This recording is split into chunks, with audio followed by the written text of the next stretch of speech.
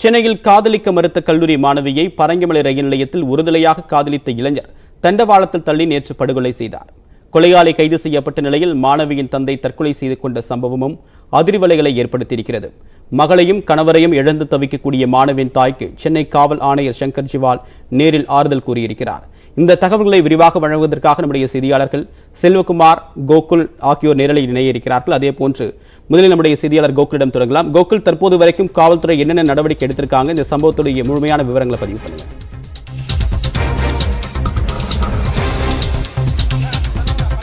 நேற்று பிற்பகலில் பிற்பகல்ல பரங்கிமலை ரயில் நிலையத்தில் ஓடும் ரயில் முன்பு இளம்பெண்ணை காதலிக்க மறுத்ததால் ஆத்திரத்தில் தள்ளிவிட்டு கொலை செய்த சம்பவம் ஒரு பெரிய பரபரப்பை ஏற்படுத்தியது. அந்த கொலையாளி சதீஷை நேற்று இரவு தனிப்படை போலீசார் கிழக்கு கடற்கரை சாலை பகுதியில் தலைமறைவாக இருந்தபோது சிசிடிவி கேமராவில் பதிவான காட்சிகளில் அந்த கருப்பு கலர் தொப்பி அணிந்திருந்தார். தொப்பியை அடையாளம் வைத்து காவல்துறை கைது செய்திருந்தார்கள் இந்த நிலையில் நேற்று மகள் கொலை செய்யப்பட்டதில் மன வருத்தத்தில் இருந்த அவருடைய தந்தை மாணிக்கமும் நேற்று இரவு மதுவில் விஷம் கலந்து குடித்து தற்கொலை செய்து கொண்டார். இந்த இரு சம்பவங்களுமே பெரிய சோகத்தை ஏற்படுத்தியது. நம்ம இருக்கக்கூடிய இந்த இடம்தான் உயிரிழந்த மாணவி சந்தியா இருக்கு சத்யாவுடைய வீடு இருக்கக்கூடிய காவலர் குடியிருப்பு. இங்கு காவல்துறையை சேர்ந்த உயரதிகாரிகள் வந்து அவருடைய குடும்பத்திற்கு ஆறுதல் தெரிவித்து வருகிறார்கள். சற்று முன்பு சென்னை மாநகர காவல் ஆணையர் சங்கர் ஜிவால் நேரில் வந்து உயிரிழந்த மா- மாணவி மற்றும் கணவனை இழந்த மனைவியான ராமலட்சுமியிடம் தன்னுடைய ஆறுதலை தெரிவித்திருந்தார். ராமலட்சுமி ஆதம்பாக்கம் காவல் நிலையத்தில் தலைமை காவலராக பணியாற்றி வருகிறார். அவரும் காவல்துறையை சேர்ந்தவர் தான். அதே போல சதீஷ் குற்றவாளி கொலை செய்த குற்றவாளி சதீஷுடைய தந்தையும் ஓய்வு பெற்ற காவலர்கள் தான். இவர்கள் இருவரும் இடையே ஏற்கனவே பல ஆண்டுகளாக பழக்கம் ஏற்பட்டு சதீஷுடைய நடத்தையில் பல்வேறு மாற்றங்கள் இருந்ததால் அதனால் ஏற்பட்ட கருத்து வேறுபாடு காரணமாக சத்யா இந்த காதலை முறித்து கொண்டிருந்ததால் இது இது இது- இதனால் இவர்களுக்கிடையே தொடர்ச்சியாக பல்வேறு சமயங்களில் ம- தகராறு ஏற்பட்டிருக்கிறது. நேற்றும் இது போன்று கல்லூரி செல்வதற்காக வழக்கம் போல ரயில் நிலையத்திற்கு வந்த சத்யாவை கொலை செய்வது என்றே திட்டம் தீட்டி இந்த கொலையை நடத்தியிருப்பதாக அவர் ஒப்புதல் வாக்குமூலம் அளித்திருக்கிறார்.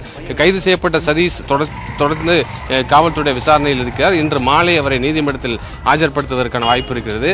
இருவரும் ஒரே நேரத்தில் அதாவது கொலை செய்யப்பட்ட மகள் அந்த சோகம் அடங்குவதற்குள் கணவனும் தற்கொலை செய்து கொண்டிருப்பதால் இந்த குடும்பமே தற்பொழுது நிலை கொண்டு போய் நிற்பதை நம்மால் நேரடியாக பார்க்க முடிகிறது. தொடர்ச்சியாக காவல்துறையைச் சேர்ந்த பல்வேறு அதிகாரிகளும் அவருடைய உறவினர்களும் நேரடியாக ஆறுதல் தெரிவித்து வருகிறார்கள். அதே போல அந்த தலைமை காவலர் ராமலட்சிக்கும் உடல்நலக்குறைவு ஏற்பட்டிருக்கிறது. அவர் ஏற்கனவே புற்றுநோயால் பாதிக்கப்பட்டு சிகிச்சை பெற்று வருகிறார். அவருக்கும் நே- நேரடியாக சென்னை மாநகர காவல் ஆணையர் ஆறுதல் கூறியதோடு பல்வேறு உதவிகளையும் செய்திருக்கிறார்.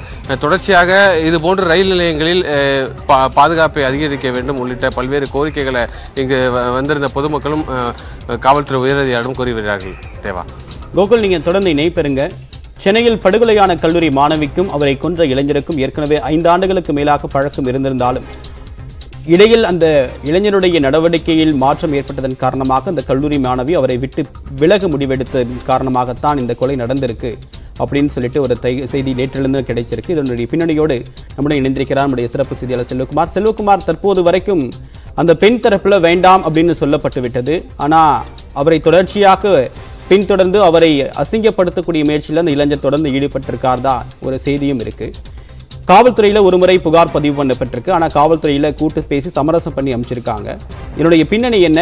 ஏன் ரெண்டு பேருமே காவல்துறை பின்புலம் கொண்டவர்கள்? கூப்பிட்டு பேசி இதனுடைய அடுத்த கட்ட நடவடிக்கை எங்கே போக பண்ணணும்? இதனை முழுமையாக தவிர்ப்பதற்கு என்ன செய்யணும்? காவல்துறைக்கு முழுமையாக தெரிஞ்சிருக்கும். இதை ஏன் அவங்க செய்யலை? என்ன நடந்தது?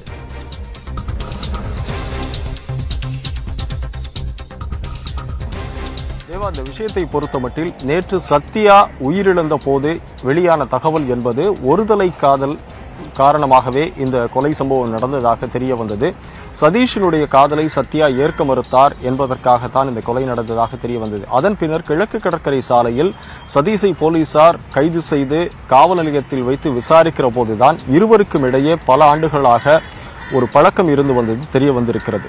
ஏற்கனவே இரண்டு முறை அவரை திருமணம் செய்வதற்கான முயற்சியையும் சதீஷ் எடுத்திருக்கிறார். ஆனால் அந்த முயற்சிகள் கைகூடவில்லை. கால ஒரு காலகட்டத்திற்கு பிறகு சதீஷ் பல்வேறு போதை பழக்கத்திற்கு அடிமையானதன் காரணமாக வேலைக்கும் செல்லாமல் இருந்ததால் சத்யா அவரை விட்டு விலகி கொஞ்சம் கொஞ்சமாக தள்ளி வர ஆரம்பித்திருக்கிறார். இதை தாங்கிக் கொள்ள முடியாமல் பல முறை வீட்டிற்கு அருகே சென்று பிரச்சனை செய்திருக்கிறார். அது மட்டுமல்லாமல் ஒரு முறை கல்லூரிக்கே சென்று வாசலில் வைத்து சத்யாவை அடித்து துன்புறுத்தி இருக்கிறார் அது சக மாணவிகளை பார்த்திருக்கிறார்கள். ஆசிரியர்களிடமும் அதை பார்த்து ஒரு புகார் அளிக்கப்பட்டாலும் கூட காவல்துறை தலையிட்டு சமாதானம் செய்திருக்கிறார்கள். ஏனென்றால் இரண்டு குடும்பமுமே காவல்துறையைச் சேர்ந்த குடும்பம். சத்யாவினுடைய அம்மா காவல்துறையில் உதவி ஆய்வாளராக பணியாற்றி வருகிறார். அதே போன்று சதீஷினுடைய அப்பா ஏற்கனவே ஓய்வு பெற்ற தலைமை காவலராக இருந்திருக்கிறார். எனவே ஒரு காவல்துறை சார்ந்த ஒரு குடும்பம் என்பதால் ஒரு சமரச முயற்சியை ஏற்படுத்தி அவர்கள் விலக்கி விட்டிருக்கிறார்கள். ஆனாலும் கூட சதீஷ் தொடர்ந்து சத்யாவை பின்தொடர்ந்து வருவது என்பது வழக்கமாக இருந்திருக்கிறது. இந்த சூழ்நிலையில்தான் சத்யாவுக்கு தற்போது திருமணம் செய்வதற்கான ஒரு ஏற்பாட்டை அவரது குடும்பத்தினர் எடுத்திருக்கிறார்கள். இந்த தகவல் தெரிந்தவுடன் தான் ஆத்திரத்தினுடைய உச்சத்திற்கு சென்று அவரை பலமுறை பின்தொடர்ந்து வந்த சதீஷ் நேற்று அவரை கொலை செய்ய வேண்டும் என நோக்கத்தோடு வந்ததாகவே போலீஸ் விசாரணையில் ஒப்புக்கொண்டிருக்கிறார். சத்யாவை கொலை செய்துவிட்டு தானும் தற்கொலை செய்து கொள்வதற்கான ஒரு முடிவோடு தான் கிழக்கு கடற்கரை சாலையில் சுற்றி கொண்டிருந்த போது போலீசார் தன்னை கைது செய்ததாக அவர் காவல்துறையிடம் பல்வேறு தகவல்களை அளித்திருக்கிறார். எனவே இன்னும் பல தகவல்கள் வெளிவருவதற்கான வாய்ப்பு இருக்கிறது. மவுண்டில் உள்ள ஜேசி அலுவலகத்தில் ஜாயின்ட் கமிஷனர் அலுவலகத்தில் வைத்து சதீஷிடம் தற்போது தீவிர விசாரணை நடத்தப்பட்டு வருகிறது. எனவே இந்த விசாரணையின் அடிப்படையில் இன்னும் பல தகவல்கள் கிடைப்பதற்கான ஒரு சூழல் இருக்கக்கூடிய நிலையில் இன்று மாலை அவர் நீதிமன்றத்தில் ஆஜர்படுத்தப்பட இருக்கிறார். எனவே ஒட்டுமொத்தமாக இந்த சம்பவம் இவ்வளவு தூரம் இருந்தும் கூட காவல்துறை ஒரு சமரசம் செய்து அவர்களை அனுப்பி வைத்தாலும் கூட ஒரே பகுதியில் காவலர் குடிப்பு குடியிருப்பில் எதிரெதிர் வீடுகளில் இருந்த இந்த இரு குடும்பத்தினுடைய இந்த காதல் பழக்கம் என்பது ஒரு மிக கொடூரமான முறையில் நடைபெற்று முடிந்திருக்கிறது. எனவே காவல்துறை அடுத்ததாக இதில் என்ன செய்ய போகிறார்கள் என்பதை நாம் பொறுத்திருந்துதான் பார்க்க வேண்டும் தேவா.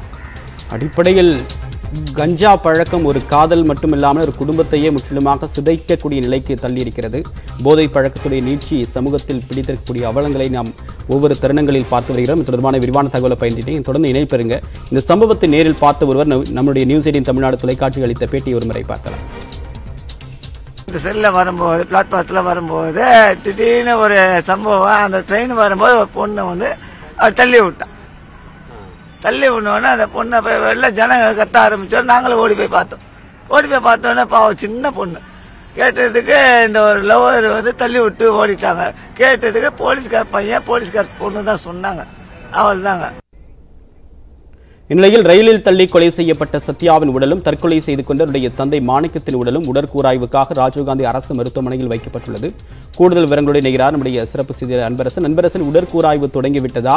தற்போது என்ன விவரம் கிடைத்திருக்கிறது நிச்சயமாக தேவபிரியன் நேற்று நண்பகல் ஆஹ், ரயில் நிலையத்தில் ரயில் முன் தள்ளி கொலை செய்யப்பட்ட சந்தியாவின் உடல் நேற்று மாலையிலே ஆஹ், சென்னை ராஜீவ்காந்தி அரசு பொது மருத்துவமனைக்கு உடற்கூறாய்வுக்காக கொண்டு வரப்பட்டது. அவரின் இறப்பு செய்தியை தாங்க முடியாத அவரது தந்தை மாணிக்கம் என்பவரும் நேற்று வந்து இன்று அதிகாலை வந்து தற்கொலை செய்து கொண்டார். அவரது உடலுமே வந்து தற்போது ராஜீவ்காந்தி அரசு மருத்துவமனையில் இன்று காலை வந்து இங்கு அனுப்பி வைக்கப்பட்டு உடற்கூறு வைக்கப்பட்டிருந்தது. இன்று காலை முதல் வந்து உடற்கூறு ஆய்வு நடைபெறாமல் இருந்து வந்த நிலையில் தற்போதுதான் தாம்பரம் ரயில்வே காவல் ஆய்வாளர் வைரவன் வந்து அந்த அறிக்கையை சமர்ப்பித்திருக்கிறார் மருத்துவமனையில் சமர்ப்பித்திருக்கிறார். இந்த இரண்டு கொலைகளுக்காக இந்த இரண்டு கொலை மற்றும் தற்கொலை சம்பவத்திற்கான முழு பின்னணியும் தெரிய வேண்டும் என அவர் சமர்ப்பித்த அந்த அறிக்கையின்படி தற்போது மருத்துவர்கள் வந்து சரியாக பன்னிரண்டு மணி இருபது நிமிடங்களில் வந்து ஆஹ், உடற்குழாய்வு செய்ய ஆரம்பித்திருக்கிறார்கள். முதற்கட்டமாக அவரது தந்தைக்கு வந்து மருத்துவர்கள் ஆஹ், செய்து வருகிறார்கள். மருத்துவ மருத்துவர்களின் முதற்கட்ட விசாரணையில் அவர் தனது மகள் சத்யா கொலை செய்யப்பட்ட சம்பவத்தை அறிந்த உடனேயே மன அழுத்தத்தில் வந்து அளவுக்கு அதிகமாக மது குடித்ததும் தெரிய வந்திருக்கிறது. நேற்று மாலை முழுவதுமே இவர் வந்து தொடர்ச்சியாக மாணிக்கம் வந்து மது குடித்துக் கொண்டிருக்கிறார். அப்படி மது குடித்துக் கொண்டிருந்த போது இவர் துத்தநாகம் என்ற ஒரு வேதிப்பொருளை அதாவது ஒரு துத்தநாகம் என்பது உடனடியாக உயிரை கொள்ளும் ஒரு வேதிப்பொருளாகும் இந்த பொருளை வந்து அவர் மதுவில் கலந்து அவர் குடித்திருக்கிறார் என்பது மருத்துவர்கள் முதற்கட்ட அறி முதற்கட்ட அறி அறிக்கையில் தெரிவித்திருப்பதாக நமக்கு ரயில்வே ரயில்வே போலீசார் தகவல் தெரிவித்திருக்க இந்த நிலையில் தான் இருவரின் உடலும் தற்போது உடற்குறாய்வு செய்யப்பட்டு வருகிறது. முதன் முத இந்த காலை முதலே தற்போது செய்யப்படும் இந்த முதலாக செய்யப்படக்கூடிய இந்த உடற்குறாய்வானது இன்னும் சற்று சற்று நிமிடங்களில் முடிவடையும் என மருத்துவத்துறையிலிருந்து தெரிவிக்கப்பட்டிருக்கிறது தேவபிரியன் நீங்க தொடர்ந்து இணைப்பு இருங்க அடுத்ததாக மீண்டும் நம்முடைய செய்தியாளர்.